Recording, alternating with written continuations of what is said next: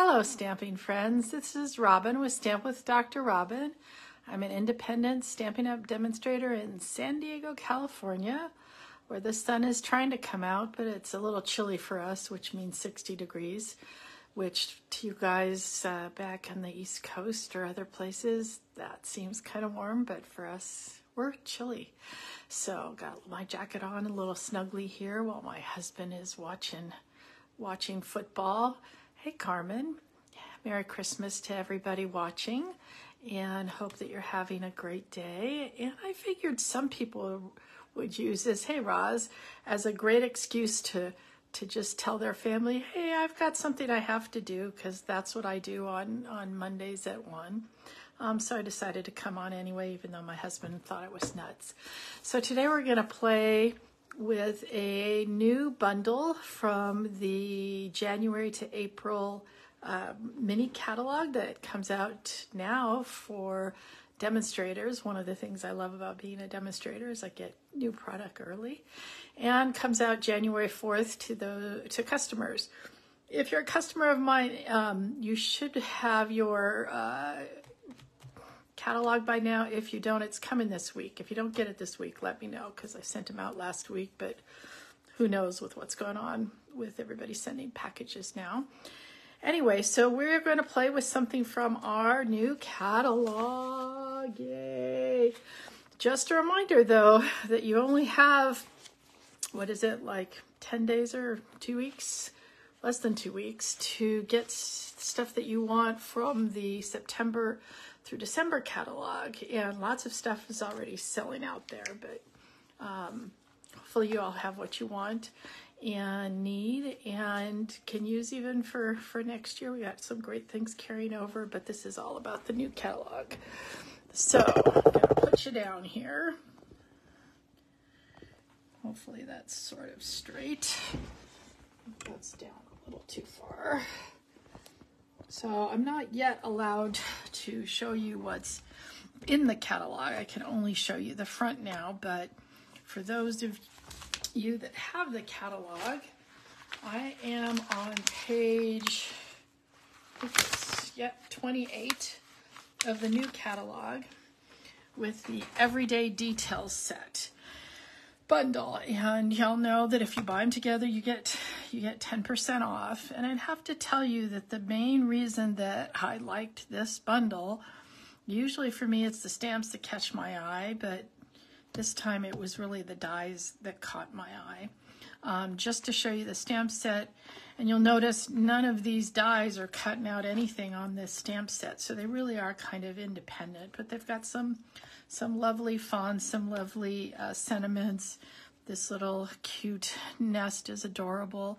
You can even stick one of those birds from um, the paper flying away, something like that, um, on this nest. I just thought of that looking at that. We'll have to try that. But, you know, the star of this this bundle is really this set of dies. Now this one is not a die that cuts out, it just makes this mark kind of like a background thing, same for these. But you have dies on here that are kind of two for one dies. There's one in these rectangles and there's one in the circles. And hopefully you can see that. What they're going to do is cut out an inner rectangle or an inner circle but also leaves dots on the outside. Let me show you what that means. So that means if you take, for instance, this rectangle die, and this is just a, I can't remember if it was, yeah, this is a four by five and a quarter sheet, and you use this die to cut this out, what you're left with is, is this big one, and this little one cuts out. So does that make sense? And the same thing happens with that, oops, with that circle die. So it cuts out the circle on, that's left there. And I think this is about a three and a half inch square that I did. But then you also have these other circles that don't do this two for one. But a big circle, that's a nice, really big circle. And smaller ones, this one just has little teeny dots And the same thing for the rectangles. Okay, same idea. And the other cool thing, let's put this over here because we're gonna, whoops, let's not lose it because we're gonna need that one.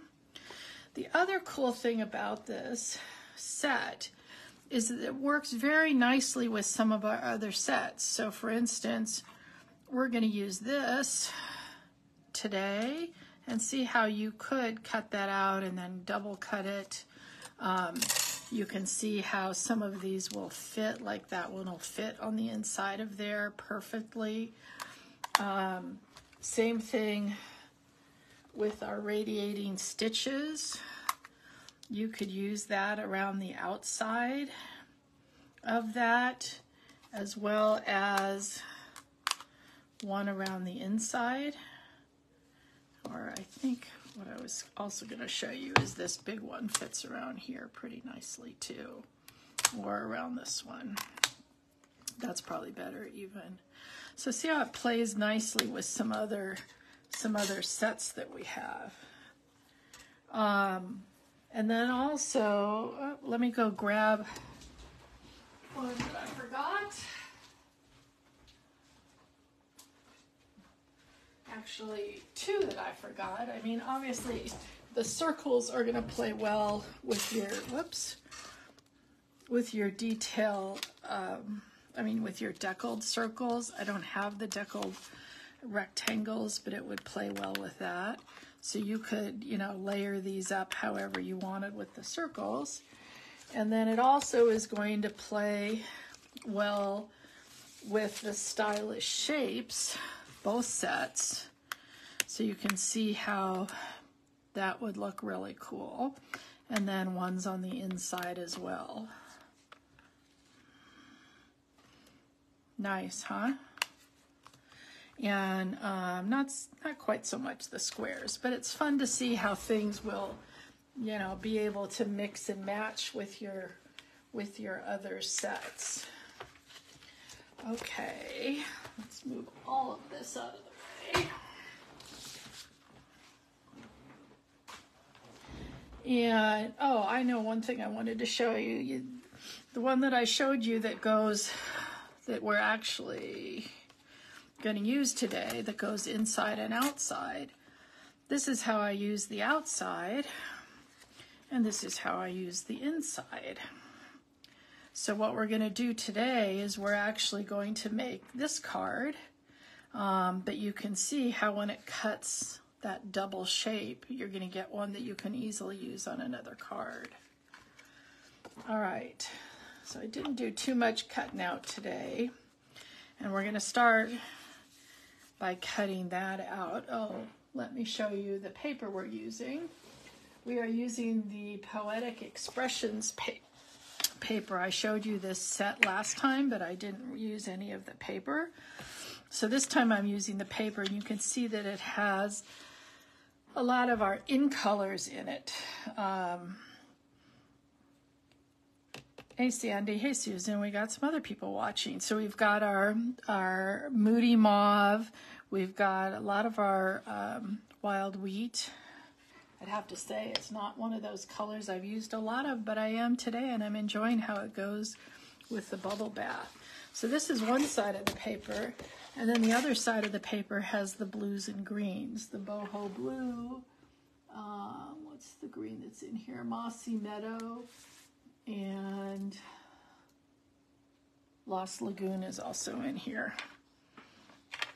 I like that one. Not sure what I'm going to do with it, but Anyway, so that's what we're using today. So first thing, one thing I wanted to talk about with using, this is um, this scallop shape die, is I always cut mine a little bit bigger when I'm using this die. Four inches seems to be fine, but I do better cutting it a little bigger than five and a quarter. That's just my tip on that one.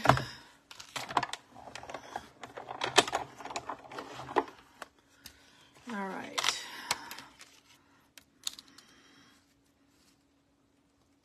So let's put that through.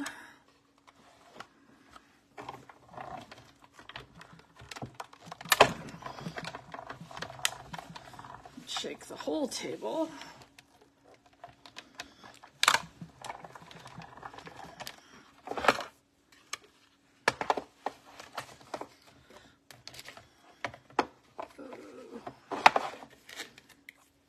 And then while we're here, I'm to take the bubble bath piece.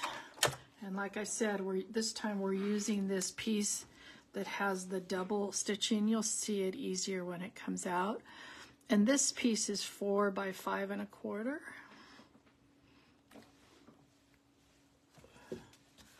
And let me do something I didn't do before, which it works much better if you don't send the flat side through. If you angle it a little bit, that seems to work a whole lot better.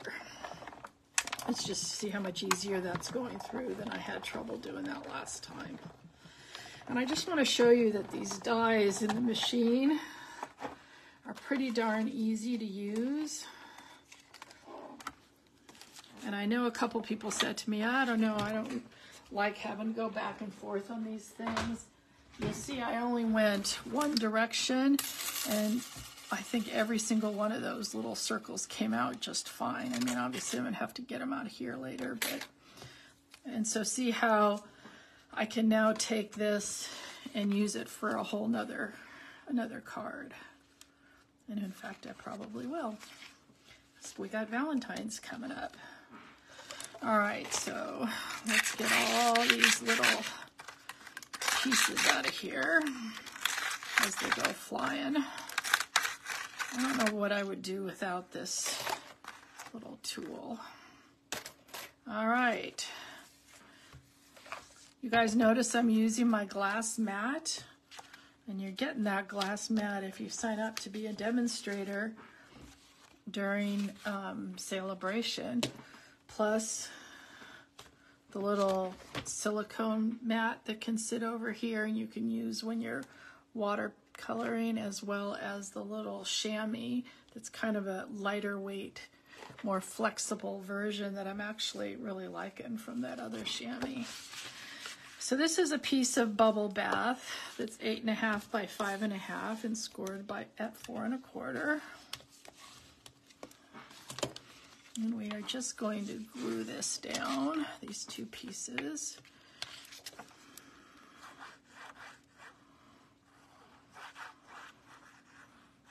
Mostly so that I don't lose them. When I use this one, I don't actually glue down all these little side things because I don't think it's really necessary. And I don't like having glue spill out everywhere. Isn't that pretty? Now, doesn't that wild wheat look um, look like gold here? That's what I like about using it with this paper. So we'll put both of these in.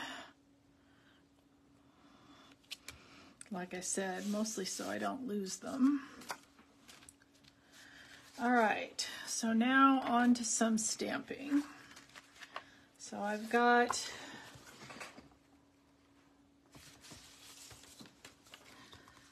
just a little piece of white, basic white. And I've got the um, stamp with the cup on it, the little teacup, and my wild wheat. And I know sometimes when people look at these images, they think, oh, I don't want this because I don't want to have to color so much. And that's what we're about today is to show you you really don't have to do a ton of coloring on this one.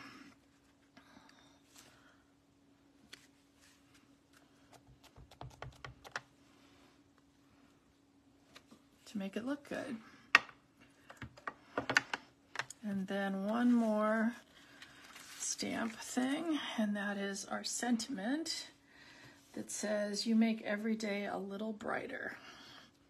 Now you could use that on pretty much anything.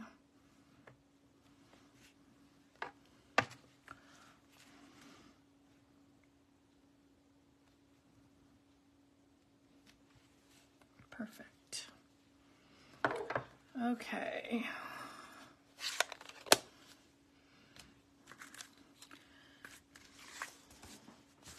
And I am just going to take a little bubble bath blends and color in the flower. But the other thing I'm going to do is take a blending brush. You guys have these blending brushes.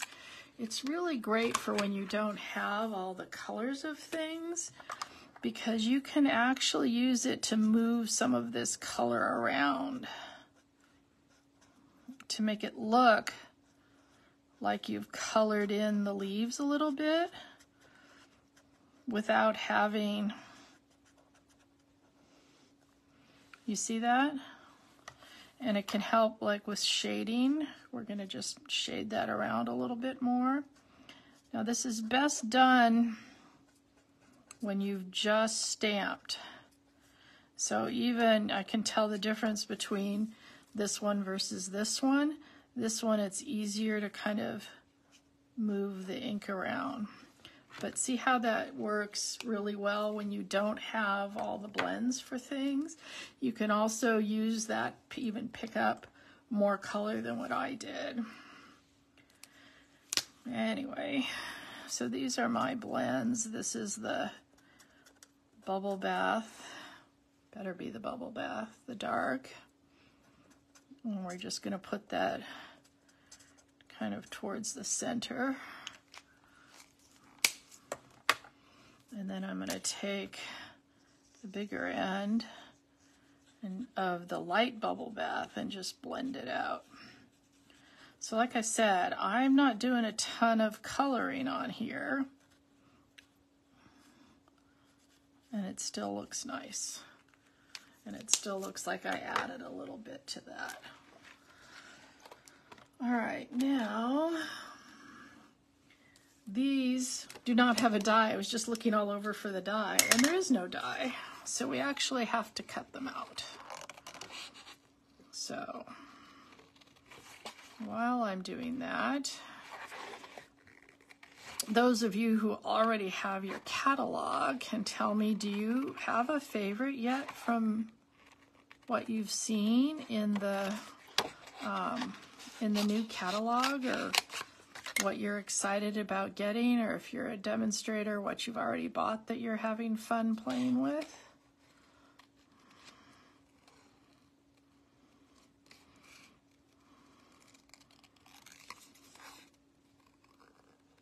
If you don't have your catalog in Art Demonstrator, tell me how your Christmas is going and what's, I'm sure most of you have opened presents already, and what your favorite present is that somebody either got you or you got somebody else. I always get so excited when I feel like I totally hit the nail on the head with somebody with the with a present. That makes me just feel so good. And usually those kind of presents are ones that I've kind of just observe, either observed somebody needing, you know, like you're at their house and they're struggling with doing something or making something that you know that there's something out there that would help them along a lot better. Um, for instance, I got my parents' towels, and I know that's not that exciting, but it is when you need more towels.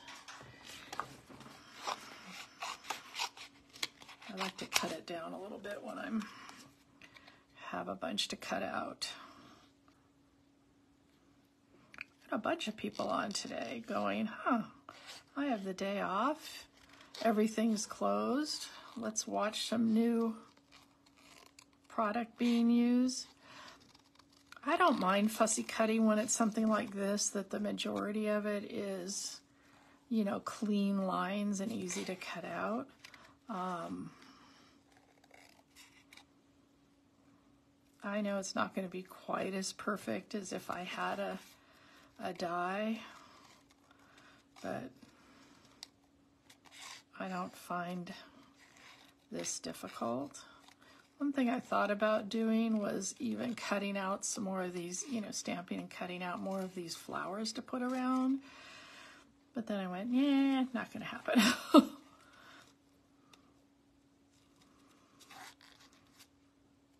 And I know some of you just hate fussy cutting, but because you don't think you're good at it. And all I can say is just try.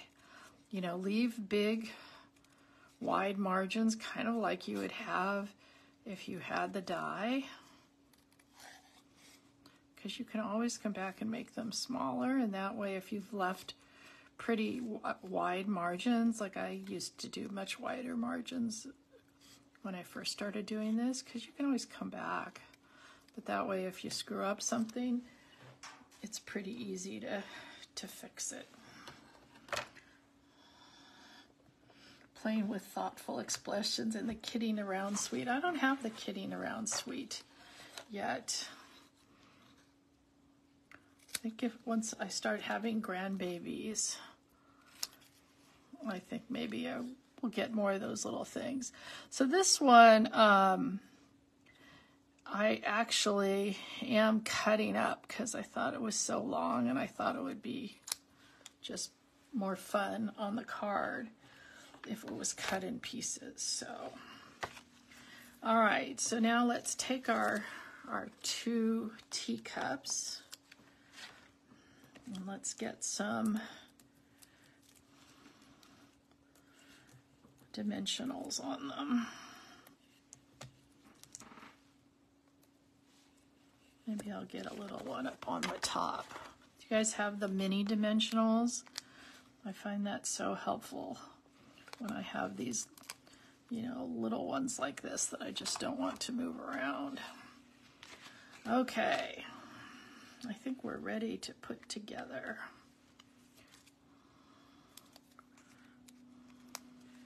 Let's just kind of put them like that.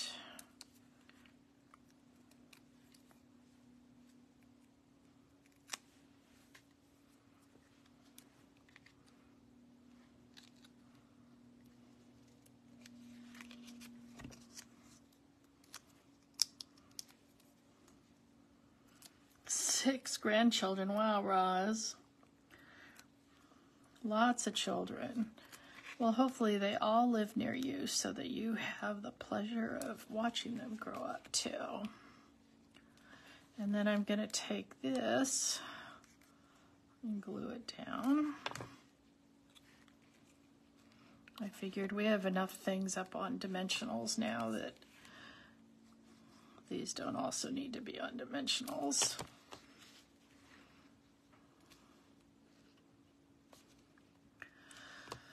Okay, and on this card, I used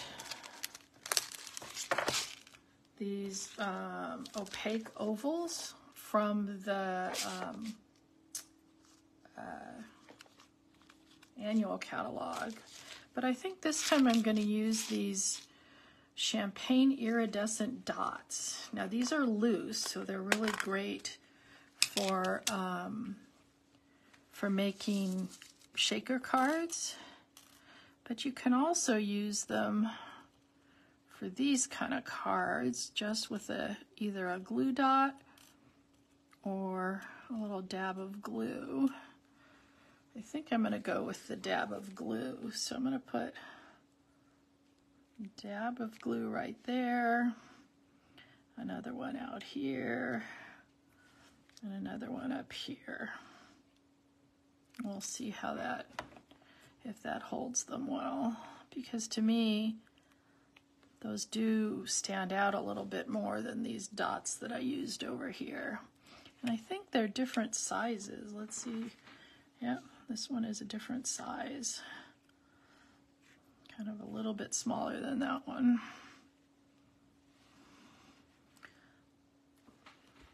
Those are cool. Which do you guys like better? These dots or the little the little bubble bath ovals. Not sure what color. I mean, it says these are champagne. I'm not sure what color they're supposed to match with. They are supposed to go with this set, so I guess they kind of go with the wild wheat. Um, but that's kind of cool. And then I want to get this back in here because I forgot to stamp something for the inside. Yeah, like I said, I'm not sure what exactly I'm going to be using this for, so I'm not putting any other sentiment other than what's on the front. But I do want to just stamp a um, a teacup inside too. I wasn't going to color it, but I don't know. Let's get a little pink in there.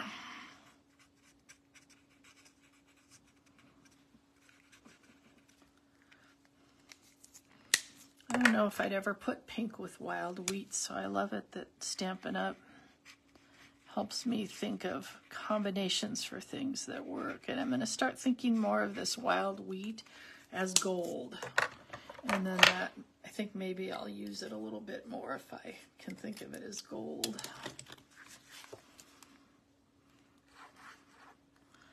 Than what I've been calling it. You guys want to know what I've been calling it?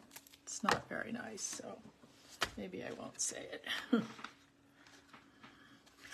you like the champagne a little more? Yeah, like I said, I didn't even realize that I had it because I ordered that whole Poetic Expression suite. Oh, that looks really pretty, doesn't it?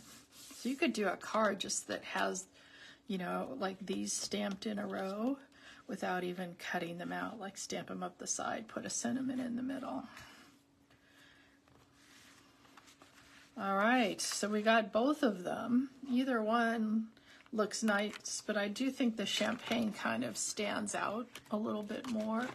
I could have also used, if I could find them, I trying to remember. Oh, yeah, I could have used these too. This would have been another thing to use the um, the dots. Are these called? In color dots. That's another choice too. So got different choices to use on here. All right. Turn you guys back up. It was good to see you all on a nice Christmas day and hope that you have a great rest of your year. And I will see you on New Year's Day, I guess, next Monday at uh, 1 o'clock Pacific time. Take care, everybody. Bye.